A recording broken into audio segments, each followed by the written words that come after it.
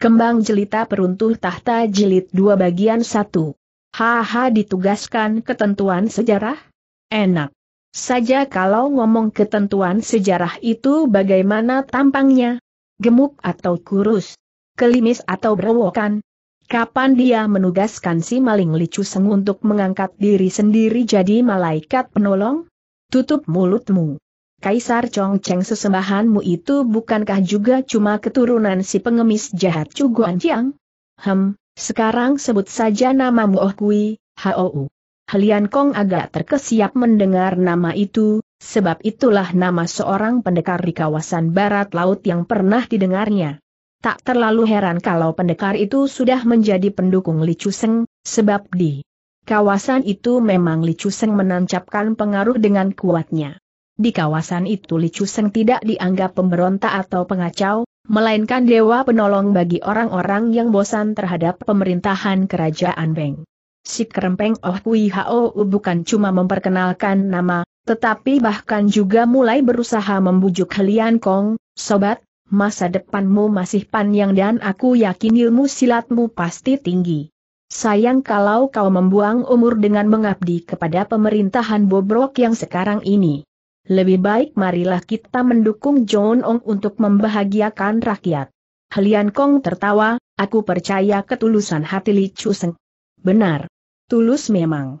Tapi ketulusan hati saja tidak cukup, sebab orang tulus macam dia malah akan menjadi makanan empuk orang-orang licik. Dia pasti akan gagal untuk memperbaiki kehidupan rakyat karena dua hal. Pertama, Perjuangannya berwawasan dangkal, dia cuma tahu mengobarkan kemarahan rakyat dan mengarahkannya, tapi lama-lama pasti takkan berhasil mengendalikannya. Dia akan ditelan oleh banjir yang ditimbulkannya sendiri.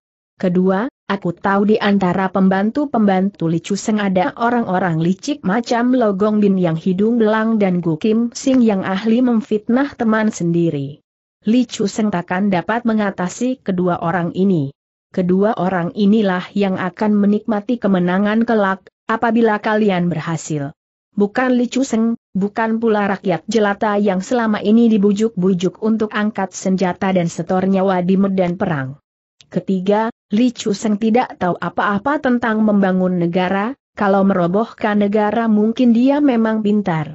Seandainya bisa merobohkan pemerintah yang sekarang, bisakah dia membangun yang lebih baik? Jangan-jangan dia berontak cuma karena sekedar ingin merasakan emputnya singgah sana dengan bokong melaratnya? Aku yakin hanya kekacauan yang akan dihasilkan oleh kemenangannya. Karena itu, dia tidak boleh menang. Oh Kiu Hou merah padam wajahnya, lalu balas mengejek. Jadi kau anggap Kaisar Chong Cheng tidak boleh disingkirkan karena pemerintahannya sudah adil, bersih dan bijaksana, dan semua rakyat hidup sejahtera di bawah perlindungan pembesar-pembesar yang baik hati, begitukah? Sudah jelas itulah sindiran, sebalik kenyataan saat itu justru kebalikan dari kata-kata Oh Kui Hou itu. Halian Kong menarik napas dan menjawab prihatin, pemerintahan sekarang memang kuakui banyak kelemahan, tapi dalam pemerintahan juga masih banyak pembesar setia yang menunggu kesempatan untuk berbakti, baik sipil maupun militer. Kalau orang-orang korup kelak sudah kami singkirkan dan pembesar-pembesar setia menggantikannya, nah, rakyat akan mendapatkan kesejahteraannya tanpa perang. Tanda petik. Terkekeh-kekeh oh, Kui Hao mendengar kata-kata itu, sebuah mimpi yang amat indah. Sayang, John Ong dan segenap pengikutnya tidak percaya kalau mimpi itu bisa benar-benar terwujud. Kami tidak sabar kami akan melakukan perombakan total. Itu tidak bijaksana. Kalau sebuah rumah ada satu atau dua gentengnya yang bocor, masa kau akan merobohkan seluruh rumah itu sehingga seisi rumah kehilangan tempat bernaung? Bukankah cukup menggantikan genteng yang bocor itu dengan genteng baru? Satu dua genteng bocor. Haha, sungguh pintar kau mengecilkan kejahatan pemerintah Beng. Bukan cuma satu dua genteng yang bocor, sobat, tapi seluruh bangunan sudah keropos penuh rayap, kecoak, tikus-tikus yang rakus inilah gambaran tepat untuk kerajaan Beng sekarang ini suara Oh Pui Hao meninggi bersamaan dengan emosinya. rakyat butuh naungan baru, maka biarkan yang sekarang dihancurkan jadi abu lebih dulu, lalu biarkan John Ong membangun yang sama sekali baru di atas reruntuhan itu. Agaknya Li Chu Seng begitu bernafsu untuk berkuasa, sampai tidak segan-segan mengobarkan perang antara sesama bangsa Han. Pertentangan ini hanya menguntungkan orang-orang Manchu dari luar perbatasan San Hai Koan. Aku yakin John Ong Mu tidak memikir sampai soal ini karena keterbatasan otaknya, ya maklum saja dia itu kan cuma. Tiba-tiba Oh Kui Hou dengan marah mengayunkan cambuknya di udara, deru cambuknya terdengar seperti angin prahara, ledakannya seperti petir. Dia marah karena John Ongnya direndahkan oleh Lian Kong begitu rupa. Katanya keras, semangat John Ong adalah semangat rakyat rakyat tidak merasa diperalat atau dipaksa oleh John Ong, melainkan sambil menyanyi gembira angkat senjata untuk memperjuangkan nasib sendiri. Siapa pun takkan bisa membendung kami. Seandainya Jengis Khan bangkit dari kuburnya dan memimpin angkatan perang sedahsyat dulu, ya. Tetap takkan dapat mengalahkan John Ong yang didukung jutaan rakyat. Apalagi cuma orang biadab dari timur laut itu, sejengkal tanah pun takkan mereka peroleh. Titik sobat, semangatmu berlebihan sehingga mengaburkan akal sehat. Aku hanya ingin mengingatkan. Tidak. Orang-orang yang masih rela menjadi anjing congceng itulah yang perlu disadarkan, termasuk kau. Perlu kuingatkan sekali lagi bahwa peralatan perang kalian yang jauh lebih lengkap takkan bisa membendung semangat kami. Pelan-pelan kemarahan Helian Kong bangkit juga, ia hunus pedangnya sambil berkata, benar-benar keras kepala. Tapi malam ini kau akan kutangkap. Oh Kui Hou tidak gentar, hihihi, melihat sikapmu seperti ini, tidak salah dugaanku kalau kau cuna sekedar budak yang tak perlu menggunakan pikiran, cuma mengekor saja kepada sikap majikanmu yang lalim. Sayang. Aku pun takkan sungkan-sungkan lagi. Ucapannya disambung dengan gerak cambuknya yang meluncur ke depan dengan gerak lengco asiam keng, ular sakti melilit leher. Tampang dan bentuk tubuh Oh Hui Hao memang mudah menimbulkan kesan untuk diremehkan, tapi untunglah Lian Kong sejak semula tidak meremehkannya, sebab lawannya yang pendek dan kerempeng itu ternyata benar-benar berbahaya. Bukan cuma geraknya yang cepat, tapi desir cambuknya ketika membelah udara menunjukkan betapa hebat kekuatan yang tersimpan dalam tubuh kecil itu. Cepat sekali Helian Kong menunduk dan menggeser ke samping, lalu ganti cahaya pedangnya mengejutkan lawannya dengan tikaman Liong Bun Kolong, bermain gelombang di pintu naga, yang mengandung aneka ragam gerak kelanjutan di balik kesederhanaannya. Oh Kui Hao melompat mundur. Ia tidak segera balas menyerang, sebab merasa, kalau halaman itu kurang leluasa untuk memainkan cambuk yang tiga meter panjangnya itu. Terlalu banyak orang yang sering menyelonong masuk lintasan gerak cambuknya, sehingga geraknya tentu banyak terganggu. Cambuk yang lemas dan panjang itu memang lebih sulit dikendalikan daripada pedang, maka Arna yang sesak itu jadi lebih menguntungkan lawannya. Karena itulah Hui Hao tiba-tiba melompat ke atas bagaikan seekor burung saja, dan hinggap di atas genteng. Teriaknya dari atas, anjing kaisar, kemarilah kalau berani. Jawaban Helian Kong adalah langsung dengan lontaran tubuhnya ke atas genteng pula, pedangnya gemerlap di bawah cahaya bintang-bintang. Namun sebelum kakinya menginjak genteng, cambuk Oh Hui Hao telah melecut bertubi-tubi, mengurungnya. Bukan ujung cambuk saja yang bisa untuk menyerang, tapi bagian tengah. Cambuknya juga bisa melengkung atau membuat lingkaran untuk menjerat. Benar-benar ilmu cambuk yang lihai. Saat itu tubuh Lian Liong masih mengapung di udara, maka sambutan Oh Hui Hao itu bisa menyulitkannya. Ia putar pedangnya dengan kencang seperti perisai, dan sepasang kakinya menendang berganda ke pinggir genteng bukan menendang sebenarnya, tapi lebih tepat disebut mencongkel. Dua lembar genteng yang kena kakinya langsung copot dari kerangkanya dan menderas ke arah Oh Hui Hao, menyusup di antara bayangan cambuknya yang berlapis-lapis. Gerakan cambuk mengendor, dan Hi Lian Kong berhasil merebut sebidang tempat berpijak, dengan melakukan salto yang mendarat empuk di atas genteng itu. Lawannya mau tidak mau kagum melihat ketangkasan dan akal cerdik Helian Kong. Begitu ujung kakinya menyentuh genteng, seperti serigala lapar, Helian Kong terus mener. Saat itu tubuh Helian Kong masih mengapung di udara, maka sambutan Oh Kui Hao itu bisa menyulitkannya. Kam lawannya dengan cahaya pedangnya yang bergulung-gulung gemerlapan. Oh Kui Hao mundur mencari ruang gerak bagi cambuknya yang panjang sambil menyentak balik cambuknya. Cambuk itu tiba-tiba berubah menjadi belasan lingkaran bertebaran menghadang langkah Lian Kong. Tiap lingkaran adalah perangkap, dan berarti saat itu ada belasan perangkap. Pedang Helian Kong bisa terjerat oleh lingkaran yang mana saja. Pedang itu memang memasuki satu lingkaran dan terjerat, namun Helian Kong sekuat tenaga menyentakkan sambil mengiris. Ketajaman pedang Tia Teng Pok Yam itulah yang tidak dihitung Oh Kui Hao. Maka biarpun cambuknya dibikin sangat kuat, tapi cambuk itu teriris hampir putus. Meski tidak putus sama sekali, cambuk panjang itu jadi kehilangan sebagian besar kegunaannya untuk bertempur. Bagian mulai dari tangkai sampai yang teriris itu masih bisa dikendalikan, sebaliknya mulai dari irisan yang kiwir-kiwir itu sampai ke ujung sulit dikendalikan, malahan menjadi gangguan besar. Mendengkol tapi juga kagum wah HOU dibuatnya. Puluhan lawan tangguh pernah dihadapinya, namun umumnya mereka sudah berusia sekitar setengah abad atau sudah punya nama terkenal. Berbeda dengan lawan kali ini yang masih ingusan tapi sudah merepotkan. Cambuknya yang rusak itu dibuang begitu saja, lalu bentaknya, jangan gembira dulu, bangsat. Sekarang boleh kau rasakan ban siang kun hoat, pukulan selaksa gajah. Rasanya janggal juga orang sekecil Loh Wi Hao hendak memainkan jurus selaksa gajah yang berkesan kuat dan dahsyat. Namun Helian Kong sadar lawannya tidak sedang melawak, ia tidak mau memandang enteng namun juga tidak mau berlaku tidak adil dengan menggunakan pedang untuk menghadapi tangan kosong, maka disarungkannya pedangnya. Dan begitu Ah Hui Hao beraksi, nyatalah nama selaksa gajah itu memang pas.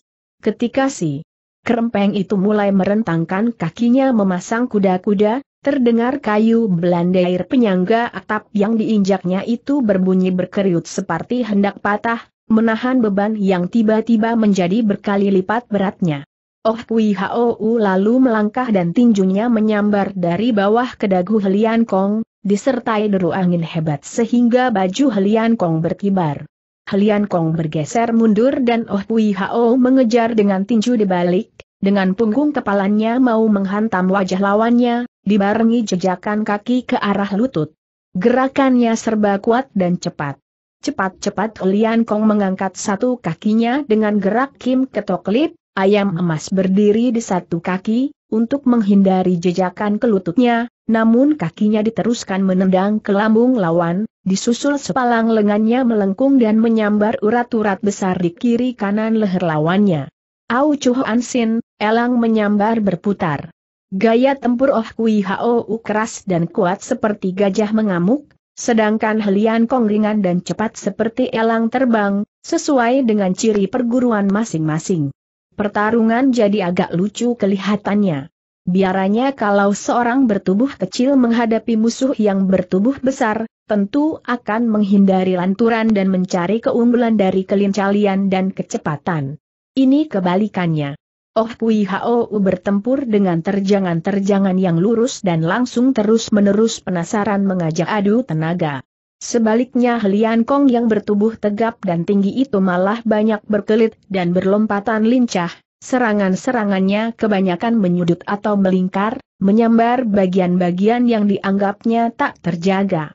Begitulah, kalau dasar pelajaran silatnya berbeda sejak dari perguruan, maka gaya tempurnya pun berbeda, tak peduli bentuk tubuh masing-masing. Kalaupun ada penyesuaian, maka penyesuaian itu tidak banyak menyimpang dari ajaran aslinya. Namun pertempuran di atas genteng itu nampaknya seimbang. Kedua persilat sama-sama harus memeras keringat hanya untuk mendapatkan setitik keunggulan. Setitik keunggulan yang akan dipertahankan erat-erat untuk dikembangkan sebagai modal sampai tercapainya kemenangan. Tapi mencari keunggulan yang setitik itulah yang bukan main susahnya. Malahan dalam hati masing-masing timbul kekaguman kepada lawan. Kekaguman yang pelan-pelan berubah menjadi saling menghormat. Biarpun terhadap musuh Lian Kong dan Oh Hui Hao merasa pantas untuk menaruh hormat, mereka tidak segan mengakui dalam hati, sebab sesama kesatria tidak harus selalu dijumpai sebagai kawan seperjuangan. Cuma sayang, kedudukan mereka yang berseberangan membuat mereka wajib bertempur terus. Alhasil, pertempuran antara keduanya tidak mengendor. Atap rumah yang miring dan licin itu tidak menjadi halangan mereka untuk bergerak seleluasa di tempat datar saja. Bahkan serang menyerang kadang-kadang demikian cepatnya sehingga bayangan tubuh mereka berbaur jadi satu, menjadi gulungan kehitaman di bawah cahaya sepotong rembulan yang pucat muram. Namun ada satu soal yang menjadi pemikiran Helian Kong. Tiap langkah Oh Hui Hao ternyata luar biasa beratnya dalam menerapkan ilmu Ban Siang Kun Hoat. Tiap kali terdengar belanda rumah penyangga atap itu berderak-derak, dan genteng-genteng remuk terinjak atau melorot ke bawah. Kalau begini terus, aku yakin rumah ini bisa ambruk tidak lama lagi, pikir Helian Kong. Dan ia merasa keberatan, sebab inilah rumah Tan Wan Wan yang menyimpan banyak kenangan indah buatnya. Karena itulah ia bermaksud memancing musuhnya untuk bertempur di tempat lain. Oh Hui Hao, ucapnya di sela-sela deruk pukulannya sendiri maupun lawannya. Koma bagaimana kalau kita cari tempat mengadu ilmu yang lebih leluasa lagi? Haha kau khawatir aku merobohkan rumah. Ini? Tidak, aku memang akan merobohkan rumah bangsat Ting Hoan Wei ini, sahut Oh Kui Hao. Dan serangannya malah semakin menghebat, sehingga rumah itu seperti digetarkan gempa bumi ataupun prahara yang hebat. Helian Kong lalu memancing kemarahan lawan, Aku punya jurus silat simpanan yang tidak leluasa aku mainkan di sini. Karena itu, kalau kau takut kepada jurus sampuhku itu, tidak pindah ya tidak apa-apa. Haha, sungguh tajam mulutmu. Mau mencoba membohongi aku, agar berkesempatan kabur. Habis berkata demikian, Oh Kui Hao mendesak dengan jurus sampel Lian Hoan, tiga langkah berantai, dengan segenap kekuatan. Terdengar gemeretak kayu landar makin hebat, genteng-genteng yang melorot jatuh juga makin deras. Biarpun langkah Lian Kong ringan seperti mengambang, tapi ia tidak bisa dirobohkan oleh desakan dahsyat itu. Tiga langkah Oh Hui Hao dipunahkan tekanannya dengan tiga langkah berputar. Pada langkah ketiga, Helian Kong tiba-tiba menyergap serempak dengan tangan dan kakinya. Sepasang telapak tangannya mendorong naik ke lengan Oh Hui Hao yang belum sempat ditarik, itulah gerak Pai Bun Tuisan, mengatur pintu menolak gunung. Kuda-kuda Oh Hui Hao belum mantap karena habis melangkah, maka tubuhnya pun agak terangkat terbawa lengannya yang penuh tenaga. Lalu Helian Kong menyusulkan tendangan Ho Hao Hoan Sin, macan merunduk membalikan tubuh, ke arah selangkangan lawannya. Tapi luput, sebab lawannya telah melompat dan melakukan gerak putaran di udara untuk menghindar. Kena atau tidak, buat Lian Kong yang penting saat itu adalah berpindah arna sebelum rumah itu ambruk. Maka begitu lawannya mundur, Lian Kong melesat pergi. Sambil menantang. Ayo, berani mengikuti aku atau tidak? Tubuh kecil Hui Hao seperti bola karat yang dipantulkan ke dinding, segera terbang menyusul Helian Kong menghilang ke kegelapan malam. Sementara pertempuran di halaman rumah itu tetap berlangsung sengit, biarpun tidak lagi ditunggui oleh jago andalan masing-masing pihak. Foal Kim Gun dan Ting Hoan Wi makin sengit menghantamkan atau menyabet dengan sepasang tongkat baja dan pedang mereka. Ilmu mereka jelas tak bisa dibanding Oh Hui Hao maupun Helian Kong, tapi mereka saling membenci sampai ke tulang sungsum, sehingga itulah yang membuat pertempuran jadi hebat. Namun dalam pertempuran antara masing-masing pihak, keseimbangan mulai goyah. Dalam keberanian, kekejaman dan ketangkasan main senjata, anggap saja kedua pihak seimbang. Tapi Foa Kim Gon mendatangkan jumlah anak buah yang lebih banyak, sehingga pihak Ting Hoan mulai terancam. Kedua, pihak sudah berkurang dengan orang-orang yang tewas, namun pihak penyerbu makin kuat dan ganas dalam mendesak pihak tuan rumah. Tumpas semua orang dan musnahkan tempatnya itulah perintah Foa Gun yang bernada amat mendendam. Ting Hoan mulai meraba ngeri. Bukan menyesal karena dulu telah meracuni orang-orangnya Foa Kim Gun untuk merebut garam mereka. Bukan. Selagi harga garam melambung sehingga sama dengan emas, tindakan itu dirasakan tepat dan tidak perlu disesali. Boleh jadi tindakan itu dianggap kotor oleh pendekar-pendekar terhormat, namun dianggap hal biasa buat kaum bawah tanah seperti mereka. Namun Ting Ho Anwi menyesal karena kurang banyak mengumpulkan anak buahnya di situ, sehingga sekarang kedudukannya menjadi sulit. Ketika ia melirik sekejap ke atas genteng, ia makin ciut nyalinya melihat Helian Kong sudah tidak ada di situ, juga lawannya.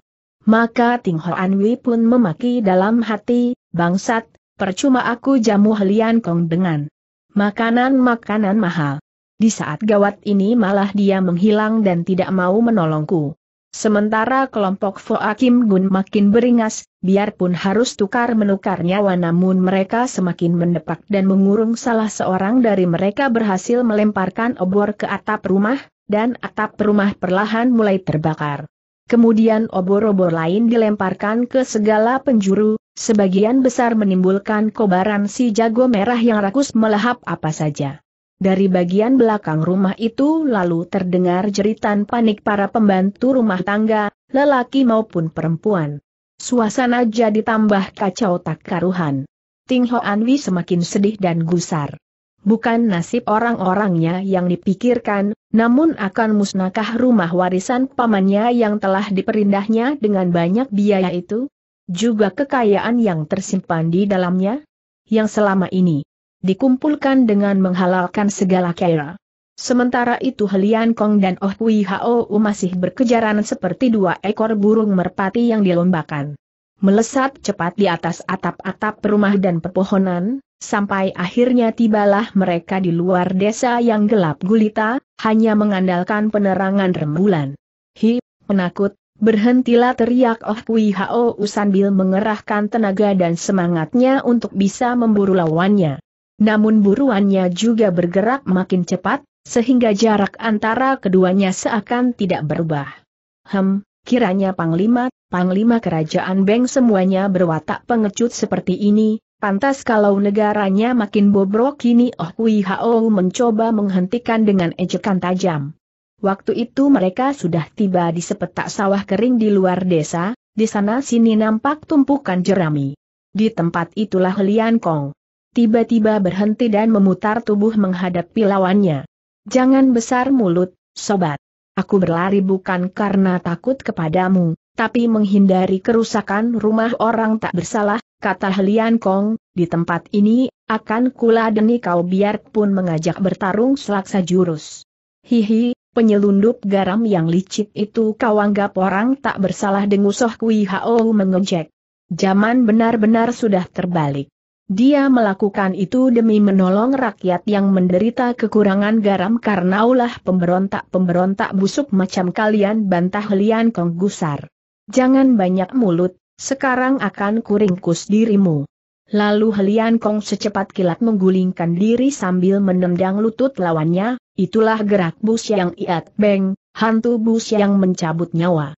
Meskipun membawa pedang, Helian Kong bersikap jantan dengan membiarkan pedang itu tetap dalam.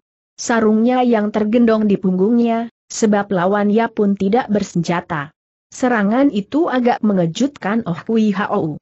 Sebab semula Lian Kong bertempur dengan jurus-jurus khas Tia Teng Bon yang setia menyerang dari atas sambil melompat. Maka kini secepat dan setangkas itu Lian Kong menyerang bagian bawah, Oh Hui Hao agak terkejut memang. Cepat Oh Kui Hao melompat, berputar untuk menyelamatkan kakinya, dibarengi sepasang tangannya yang menggempur berbarengan dari udara untuk mengarah kepala dan punggung lawannya.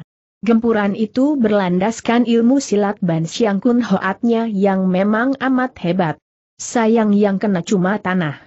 Gumpalan-gumpalan tanah seolah meledak berhamburan karena disemburkan dari mulut gunung berapi, meninggalkan lubang hampir sejengkal.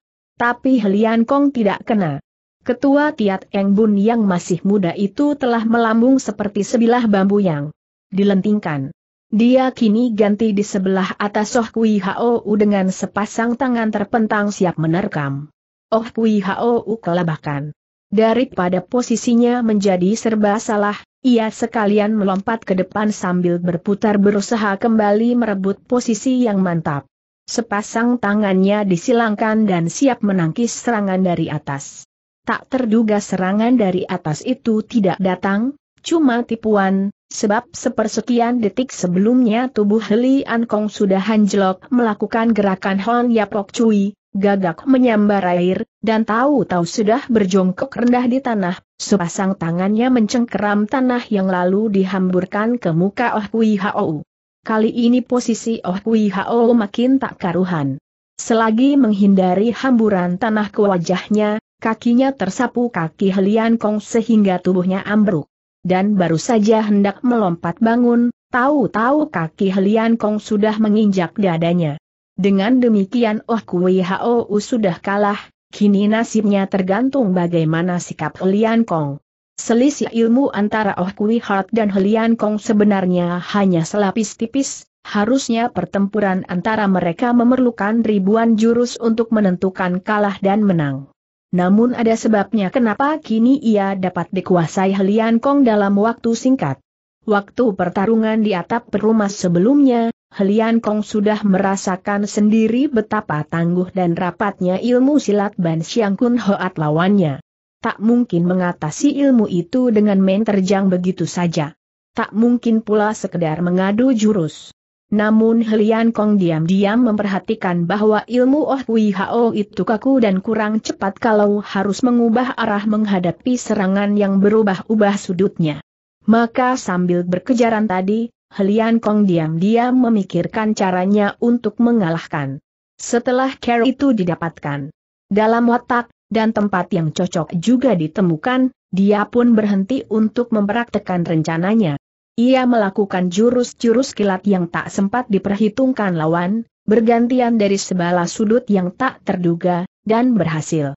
Bunuh aku, begundal kaisar di bawah injakan Helian Kong, Oh Kui Hou tidak menunjukkan sikap takut mati. Ayo bunuh aku. Perjuangan John Ong takkan gagal hanya oleh kematianku.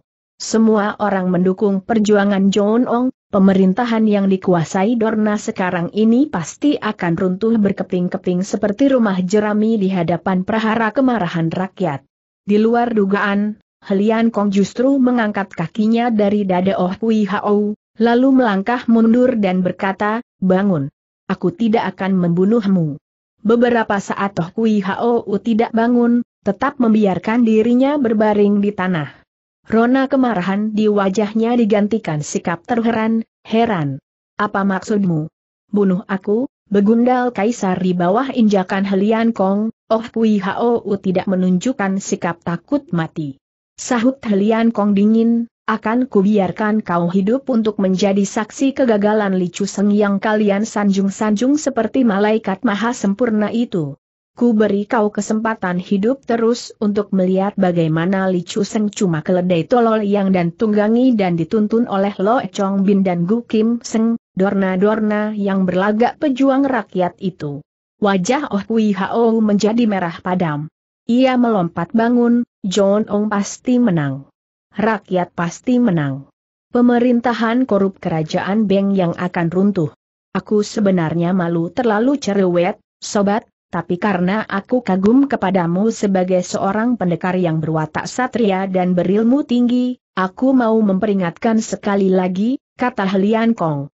Pemberontakan bukan care yang tepat untuk menyelamatkan negara. Dalam pemerintahan kerajaan ada orang busuk macam Chohawasan, yang bukan saja kalian benci namun aku sendiri pu amat membencinya. Tapi kalau kalian terus berontak, kalian menyulitkan kami untuk membersihkan orang-orang korup seperti Chohawasan itu.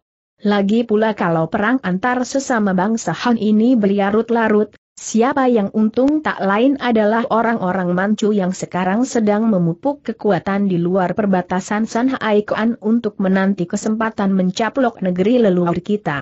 Yaitu kalau pihakmu dan pihakku sudah sama-sama babak belur. Oh Kui Hao termangu. Perasaannya yang terdalam merasakan betapa tulusnya kata-kata Helian Kong, sama sekali tidak terdengar sebagai sekedar bujukan manis untuk membenarkan pihaknya sendiri. Ia menarik napas dan berkata, kau benar-benar seorang prajurit sejati, prajurit berhati lurus. Harapanmu untuk membersihkan pemerintahan ini dari orang-orang korup, sungguh harapan semua orang yang mencintai negeri ini. Tapi biarpun mimpimu itu indah, mimpi tetap mimpi, takkan menjadi kenyataan. John Ong pernah bilang secara pribadi. Kepadaku, ia amat terluka akan kematian yang penasaran dari pembesar-pembesar setia seperti Kim Teng Pek atau Wan Chong Hoan, mati karena difitnah. Saat itulah John Ong merasa tidak ada harapan menyelamatkan negara kecuali dengan merombak total yang lama dan mendirikan yang baru. Di luar itu hanyalah usaha tambal sulam yang tak banyak gunanya. Habis berkata demikian, Oh Kui Hao membungkuk hormat dan berkata, Oh Kui Hao secara pribadi berhutang budi kepada Buncu, ketua, mudah-mudahan di lain waktu ada kesempatan untuk membalas budi Buncu secara pribadi pula. Selamat tinggal. Lalu tubuhnya melenting dan berkelebat lenyap ke balik gelapnya malam. Helian Kong mendengar betapa Oh Kui Hao menekankan pada kata-kata secara pribadi, itu artinya hutang berlaku bukan antara seorang perwira kerajaan dengan seorang tokoh pengikut Li Chu Seng, melainkan antara Helian Kong pribadi dengan Oh Kui Hao pribadi. Urusan dunia persilatan yang dilepaskan dari paham politik masing-masing. Itu artinya pula, jika kelak Oh Kui Hao dan Helian Kong bertempur di medan perang antara laskar pemberontak dengan tentara kerajaan, maka hutang budi itu dianggap tidak mengikat Oh Kui Hao, yang bakalan ada hanya antara dua orang dari pihak-pihak yang bermusuhan. Melihat perginya Oh Kui Hao, Helian Kong cuma geleng-geleng kepala sambil bergunam, seorang lelaki sejati, sayang keras kepala. Pada saat yang sama, saat melesat pergi meninggalkan Arna tadi, Oh Kui Hao juga menggumam penuh penyesalan, seorang lelaki sejati, sayang mengabdi di tempat yang keliru. Demikianlah untuk sementara Seng kebenaran harus dipecah dua. Helian Kong lalu melangkah balik ke desa, untuk melihat bagaimana kelanjutan pertempuran antara Kecimpok Ting Hoanwi dengan kelompok Foa Kim Gun belum sampai ke desa itu, Helian Kong sudah kaget melihat langit berwarna merah menyala, persis di jurusan runah Ting Hoan Hui. Helian Kong memacu langkahnya, sehingga ia berlari seperti terbang ke arah nyala apa itu. Masih kurang belasan langkah sebelum mencapai gapura desa, Helian Kong sudah lebih dulu berpapasan dengan Ting Hoan Hui terbirit-birit bersama tiga atau empat orang anak buahnya. Mereka tidak melalui jalan terbuka, melainkan menyusup-nyusup di antara ladang-ladang penduduk. Dilihat gelagatnya jelas pihak merekalah yang kalah. Cepat. Halian Kong memanggil, Ahoan. Ting Hoan Wi dan sisa orang-orangnya berhenti berlari, namun beberapa kali mereka masih menengok ke belakang dengan sikap khawatir kalau dikejar musuh, sambil mengatur napas mereka yang terengan-engah. Setelah itu, Ting Ho Anwi memberondongkan kata-kata yang bernada menyalahkan Helian Kong ke mana saja kau, Akong? Kenapa tidak bertempur bersama kami seandainya kau tetap bertempur di tempatku, tentu takkan begini jadinya, ah! Helian Kong mencoba memaklumi. Memang zaman itu zaman sulit. Zamannya orang gampang menuntut tapi sulit berterima kasih. Ditolong sebesar apa pun masih merasa diabaikan, minta yang lebih besar lagi. Terpaksa Lian Kong harus menerangkan dengan sabar, aku titik juga bertempur melawan orang pendek kurus bersenjata cambuk panjang itu. Hanya melawan satu orang padahal banyak saudara-saudaraku yang terpaksa harus menghadapi dua orang atau lebih karena kalah jumlah, sedangkan kau cuma mengambil satu orang sebagai lawanmu. Dan setelah mengalahkan dia, kenapa tidak cepat-cepat kembali ke rumah untuk membantu kami? Coba kau tidak terlambat, pastilah hartaku tidak akan ludes dimakan api. Sekarang ludes. Ludes bicara sampai di sini, suara Ting Hoan meninggi dan mukanya sudah mewek-mewek hampir menangis. Ahoan, aku memang telah berhasil mengalahkan orang kurus itu, dan sedang berjalan balik ke rumahmu, tapi sudah lebih dulu ketemu kau di sini. Kenapa begitu lama?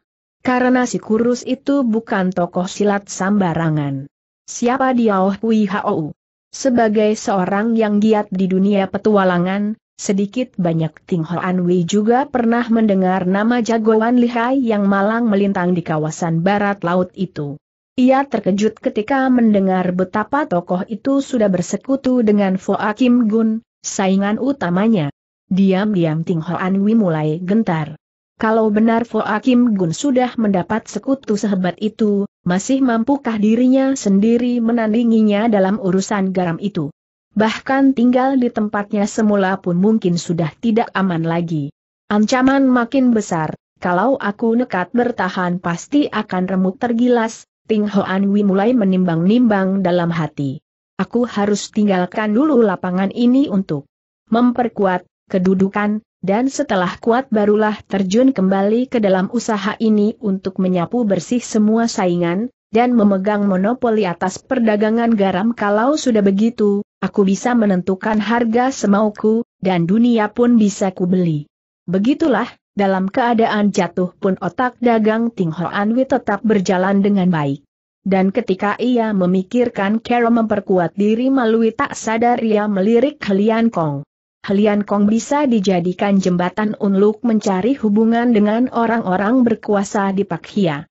Namun ketika menatap kobaran api di arah rumahnya, masih masygul juga hatinya, dan mulutnya terus meratap, hartaku, oh, kekayaanku, selamat tinggal.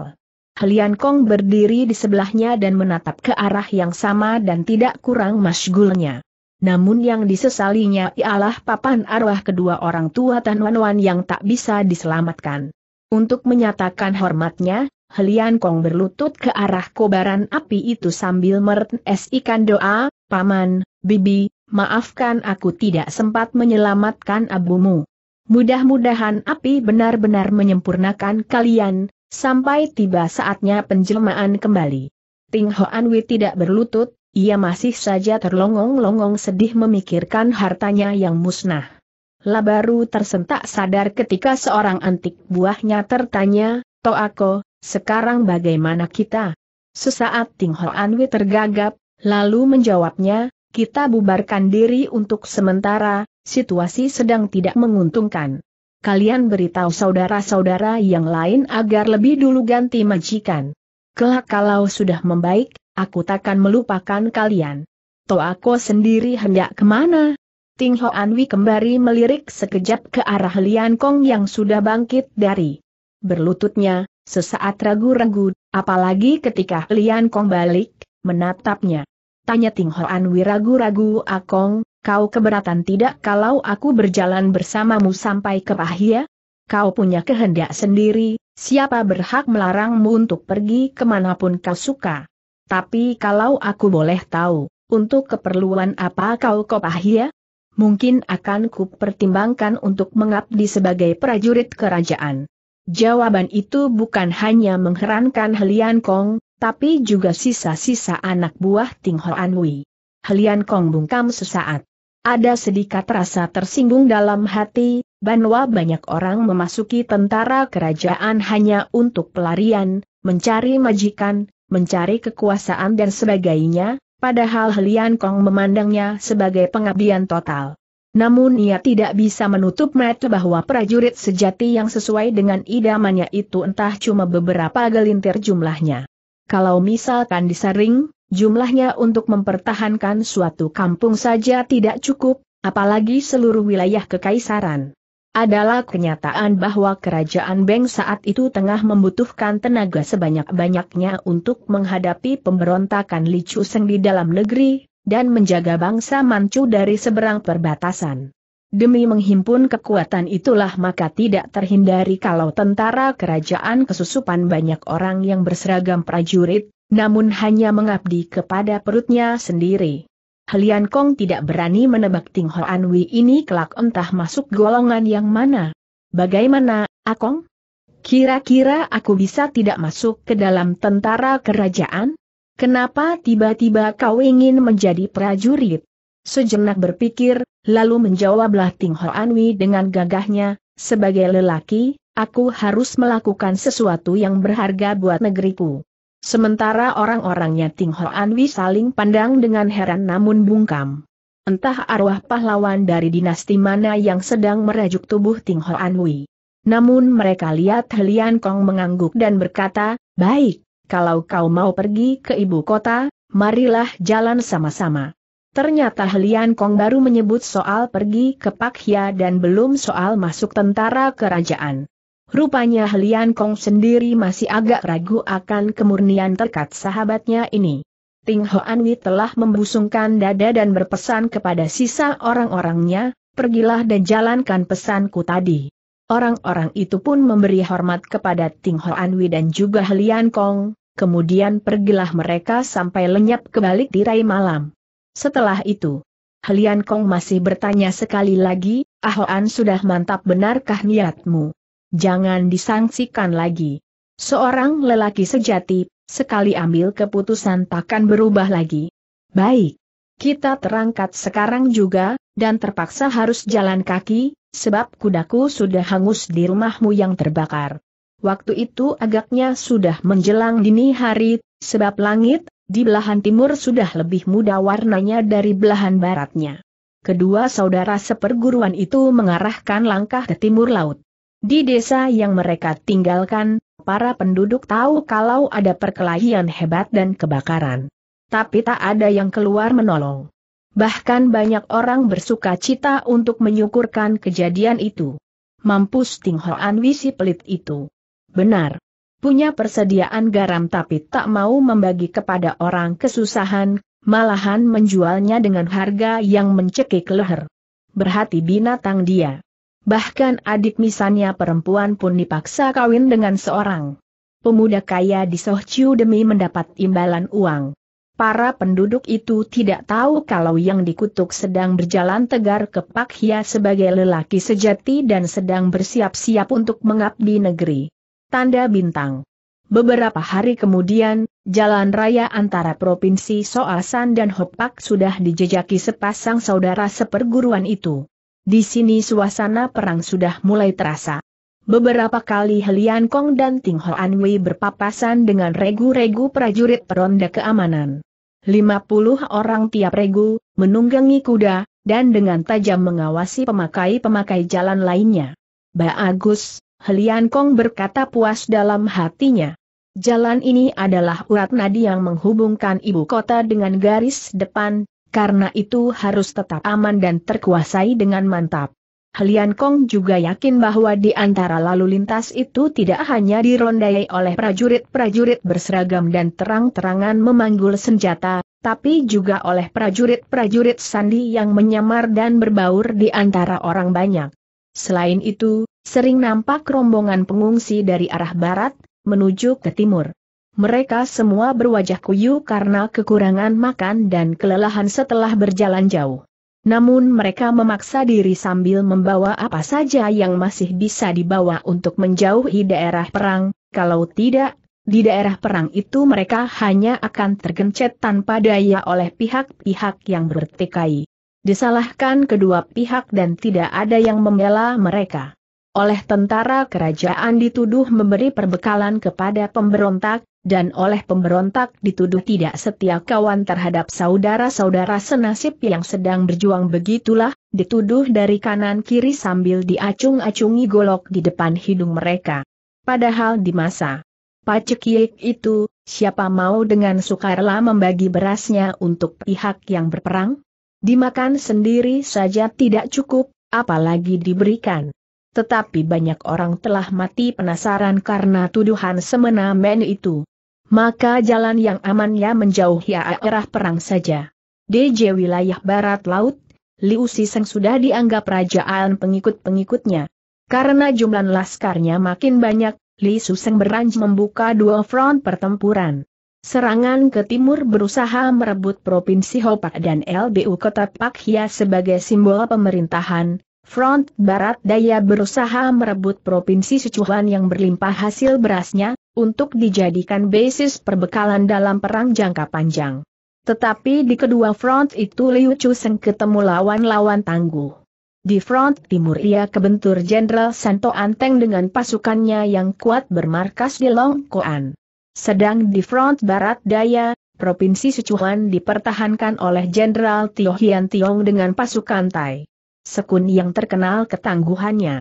Maka di front barat daya Li Chuseng hanya mengambil sikap bertahan sambil menjaga, sedang gempurannya dipusatkan untuk membobol pertahanan Jenderal Santo Anteng lebih dulu di Tongkoan. Jalan raya yang sedang dilewati Helian Kong dan Teng Hoan Wi itu adalah penghubung antara Tongkoan di garis depan dan Pak Hia, ibu kota negara. Inilah urat nadi matu hidupnya pasukan Jenderal San sehingga tidak heran kalau dironda dengan ketat sekali. Helian Kong dan Ting Hoan Wi kemudian menjumpai sebuah desa, yang nampak kelewat padat penduduknya. Sebab selain rumah-rumah asli penduduk desa itu, juga nampak gubuk-gubuk yang didirikan oleh para pengungsi yang menempati di mana saja ada sejengkal dua jengkai tanah kosong. Bau tinja kering produk para pengungsi yang serba darurat semerbak memenuhi udara. Inilah benar-benar pemukiman yang jauh sekali dari syarat-syarat kesehatan atau kenyamanan, dan tempat pemukiman yang berjubel-jubel. Teng Hoan Wei berjatah sambil menutupi hidungnya dan menggerutu sedang Helian Kong merasa sedih melihat akibat perang itu. Entah siapa benar dan siapa salah, yang jelas rakyat kecil sudah jadi korban lebih dulu. Ayo kita cari tempat, yang bersih untuk makan, ajak Ting Hoan Wei.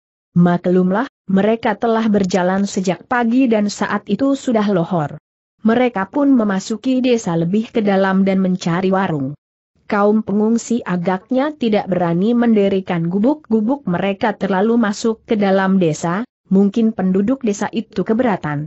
Maka di bagian dalam desa suasananya jadi agak segar, warung-warung banyak terdapat di sebelah menyebelah jalanan utama, namun segera terlihat pemandangan yang agak ganjil. Semua warung rata-rata dijaga oleh tiga atau empat orang lelaki bersenjata entah duduk dekat pintu, atau bahkan berdiri di depan pintu dengan muka waspada. Helian Kong dan Ting Hoan Wi masuk ke sebuah warung, di situ pun nampak beberapa lelaki penjaga yang dengan tatapan curiga menatap pedang-pedang yang dibawa kedua saudara seperguruan itu. Namun mereka tidak mencegah, cuma mengawasi. Tukang warung datang mendekat dan menanyakan mau pesan apa, sambil menyebutkan sederetan nama makanan dan minuman yang tersedia di warungnya. Helian Kong memesan beberapa macam, dan arak. Tidak lama kemudian ketika si tukang warung kembali mengantarkan pesanan, Helian Kong menggunakan kesempatan itu untuk bertanya kepadanya, Pak, kulihat semua warung-warung di desa ini dijaga, kenapa? Sahut si tukang warung, situasi sekarang benar-benar rusuh. Belum lewat sebulan yang lalu, ada warung dijarah habis oleh pengungsi-pengungsi kelaparan. Pemiliknya tak berdaya, malah dipukuli babak ulur. Di kampung ini? Bukan, di desa sebelah barat. Namun ketika kami di sini mendengarnya, kami merasa, perlu melakukan tindakan penjagaan. Kami upah beberapa pesilat untuk menjaga warung. Selain itu, Ong Tong Leng, Komandan Ong, dan pasukannya sudah berjanji akan menjaga desa ini kalau ada kerusuhan yang tak bisa kami atasi sendiri, kami boleh langsung lapor kepadanya untuk minta didatangkan pasukan. Helian Kong mengangguk anggun. Mereka pun kemudian melahap hidangan mereka.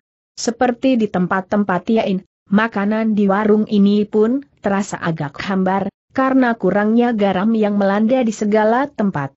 Nanun dalam keadaan lapar, ibaratnya biarpun sayur mentah juga akan mereka lahap habis. Sementara itu si tukang warung dari belakang meja kasirnya diam-diam menguping percakapan Lian Kong dan Ting Hoan. Bukan isi percakapannya yang menarik, melainkan justru logat bicara Lian Kong, logat barat laut. Lian Kong memang lahir dan sampai umur 15 tahun di Leng Provinsi Kamsiok. Logat barat lautnya tidak hilang-hilang juga meskipun dia sudah bertahun-tahun di Provinsi Hopak. Setelah si tukang warung yakin bahwa yang didengarnya itu benar-benar dialek barat laut, si tukang warung menyelinap ke belakang warungnya.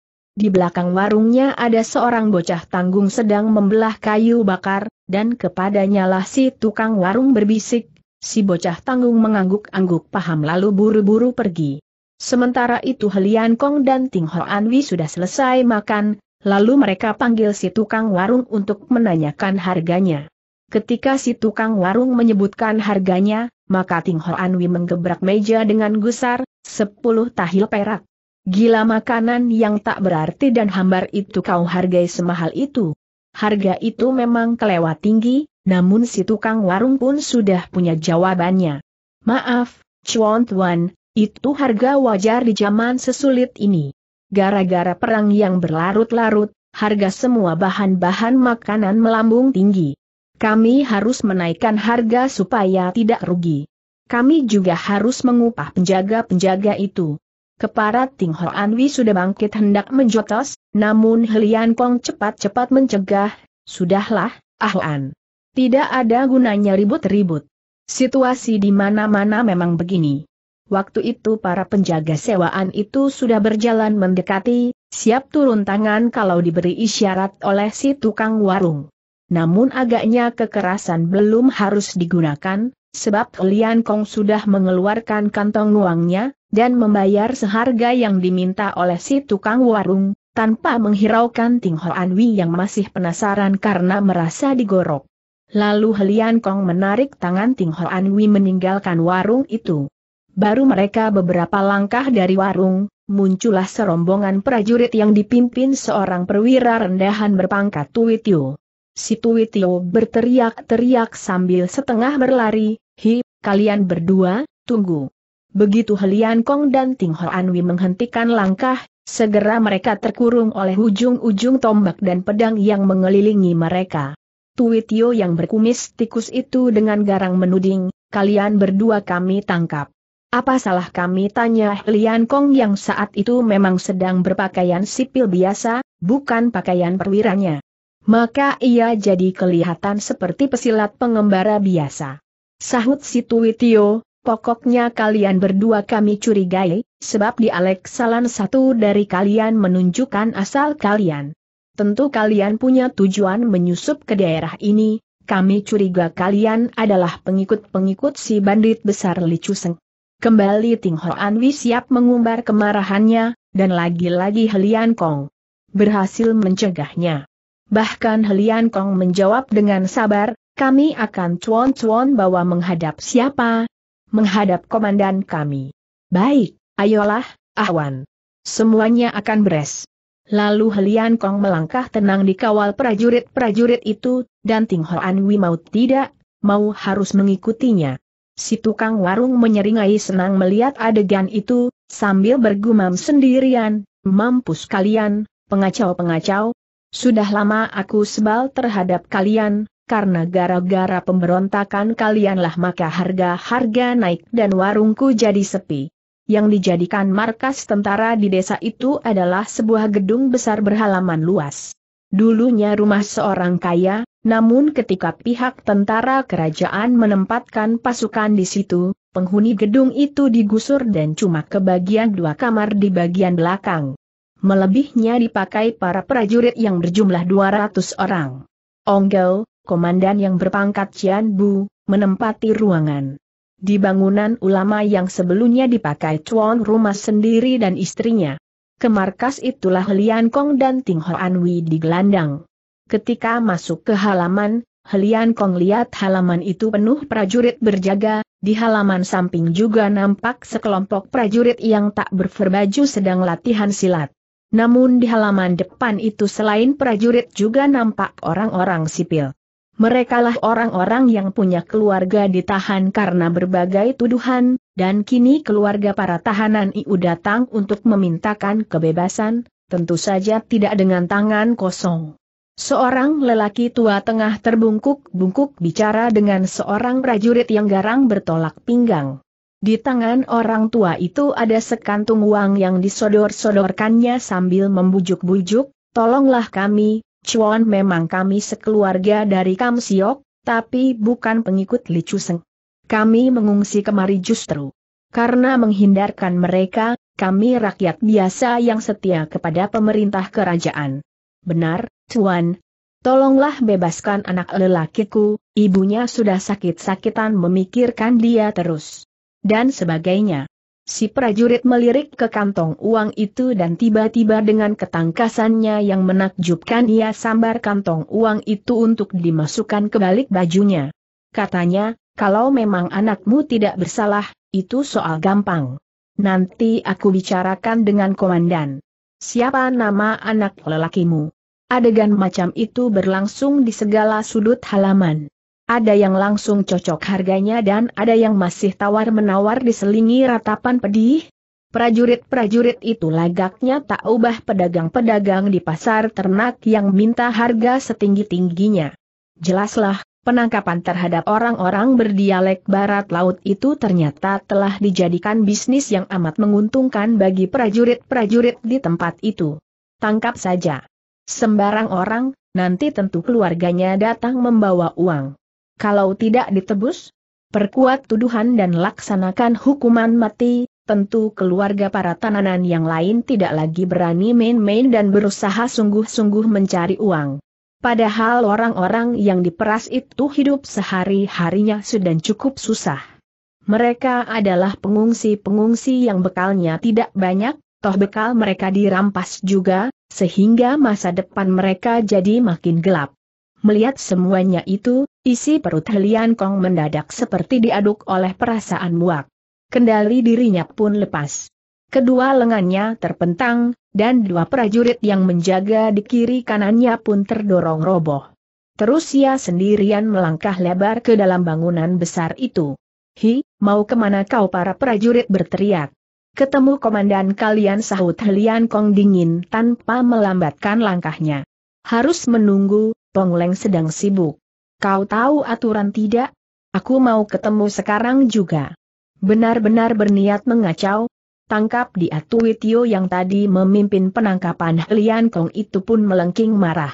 Tetapi lengkingannya terhenti seperti dicekik menaadak, sebab tangan kiri Helian Kong tiba-tiba mencengkeram bajunya begitu kuat, sampai Tuitio itu matanya melotot dan napasnya tersengal-sengal. Prajurit-prajurit lain hendak bertindak, namun ragu-ragu tertindas perbawah Helian Kong, juga khawatir kalau mengenai si Tuitio sendiri. Sementara Helian Kong dengan wajah merah padam telah menyeretnya masuk ke dalam. Karena langkahnya lebar dan cepat, orang yang diseretnya jadi pontang-panting mengikutinya. Ting Hoan Wi tetap berdiri acuh di halaman itu, cuma menonton semua adegan itu, namun dalam hatinya dah membatin, Akong benar-benar orang aneh. Di warung tadi digorok deng. Tetapi lengkingannya terhenti seperti dicekik mendadak an harga tinggi oleh si tukang warung, dia masih bersabar dan membayarnya. Kini dia tidak satu sempun dirugikan, cuma melihat orang lain yang dirugikan itu padahal bukan sanak kadang, malah dia jadi semarah ini. Aneh. Bukankah dia pun seorang prajurit kerajaan dan seharusnya memihak sesama prajurit? Bukankah setiap orang juga mencari keuntungan selagi ada kesempatan? Rupanya Ting Hoan menganggap organisasi ketentaraan itu sama saja dengan sindikat yang pernah dipimpinnya. Dalam sindikat, teman satu sindikat harus dibelah mati-matian tidak peduli salah benar. Kenapa para prajurit tidak? Sementara itu Helian Kong telah menyeret Tuiti itu sampai ke ruangan tengah. Di situ Helian Kong melihat tampang si komandan. Agak gemuk, seragam perwiranya acak-acakan, topinya ditaruhnya di meja dengan sembarangan saja. Dan ada benarnya kalau penjaga di luar tadi bilang komandan sedang sibuk, sebab komandan itu memang sedang sibuk bercanda dengan seorang wanita genit di pangkuannya. Sambil cengengesan dan menciumi leher serta pundak perempuan itu, tangannya pun gerayangan di balik pakaian si perempuan, remas sana-sini dengan asyiknya. Sedang si perempuan tertawa-tawa cekikikan sambil menggeliat-geliat kegelian, agak terengah-engah. Tapi kedatangan Helian Kong yang menyeret seorang perwira bawahannya sungguh mengganggu acara asik itu. Dengan gusar si perwira sudah melotot, siap membentak Helian Kong yang dianggapnya lancang. Namun sebelum ia membentak, Helian Kong telah membanting sekeping tiat pai, lencana besi, berbentuk persegi ke meja. Kemarahan Ongge, perwira itu, berubah menjadi rasa kaget melihat lambang dan huruf-huruf pada lencana itu jadi tahu kalau berhadapan dengan seorang yang berpangkat Hu Chiang, lebih tinggi dari pangkatnya yang cuma Cian Bu. Ia melompat dari kursinya begitu sigap, sehingga perempuan di pangkuannya terpelanting. Cepat-cepat dipakainya topinya, lalu menjura kepada Helian Kong, maafkan, Hu Chiang aku tidak tahu kedatangan Hu Chiang sehingga Aku yakin biarpun Li Chuseng sendiri datang kemari, kau baru tahu setelah dia muncul di bawah hidungmu bentak Helian Kong gusar. Lalu sepasang tangan Helian Kong terulur menyeberangi meja untuk mencengkeram baju Onggo dan diguncang-guncang sambil membentak, orang Siong, apakah kau tahu hal apa yang paling mengancam tegaknya kewibawaan pemerintah kerajaan? Dengan tubuh terguncang-guncang dan wajah ketakutan, Onggong menjawab dengan suara tak karuan tapi masih bisa diartikan, ya, ya, aku paham, Hu Chiang. Yang paling mengancam pemerintah adalah pemberontakan si Garong Li Chuseng itu. Itulah sebabnya aku dan pasukanku di sini untuk menjaga keamanan supaya. Bukan. Bukan itu semprot Helian Kong sambil mendorong tubuh Onggo keras-keras sehingga terjengkeng ke kursinya dan hampir-hampir terguling bersama kursinya. Untung perwira itu bisa segera berpegangan tembok.